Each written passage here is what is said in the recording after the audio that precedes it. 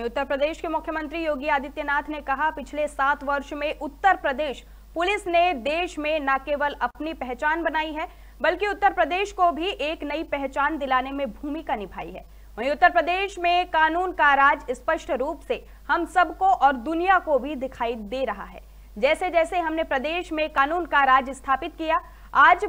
परिणाम सबके सामने है कि उत्तर प्रदेश देश में दूसरी अर्थव्यवस्था बनकर उभरा है। और तेज़ी के साथ ही देश की एक बड़ी अर्थव्यवस्था के रूप में अपने आप को स्थापित कर रहा है। हैं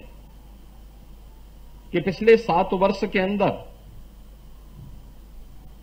उत्तर प्रदेश पुलिस ने देश के अंदर न केवल अपनी एक नई पहचान बनाई है, बल्कि उत्तर प्रदेश को भी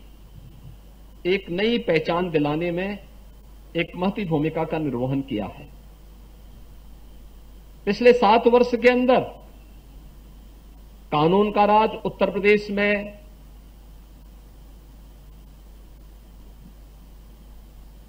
दिखाई दे,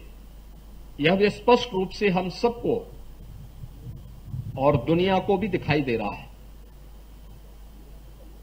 इस कानून के राज ने पुलिस को भी सम्मान दिलाया, उसको विश्वास का प्रतीक भी बनाया लेकिन राज्य को एक नई पहचान देने देने के साथ ही निवेश और व्यापार की नई संभावनाओं, विकास और रोज़गार की एक नए युग में उत्तर प्रदेश को ले जाने का काम भी किया। मुझे याद है 2017 में जब मुझे मुख्यमंत्री पद की शपथ लेने के बाद जब मैं पहली प्रशासनिक बैठक ले रहा था तब मैंने यूपी की अर्थव्यवस्था के बारे में जब जाना तो मुझे बताया गया कि आबादी में उत्तर प्रदेश देश का सबसे बड़ा राज्य है।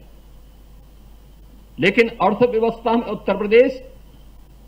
देश की छठी अर्थव्यवस्था था। लेकिन जैसे जैसे हम लोगों ने कानून का राज प्रदेश के अंदर स्थापित किया, सुरक्षा का एक बेहतरीन वातावरण दिया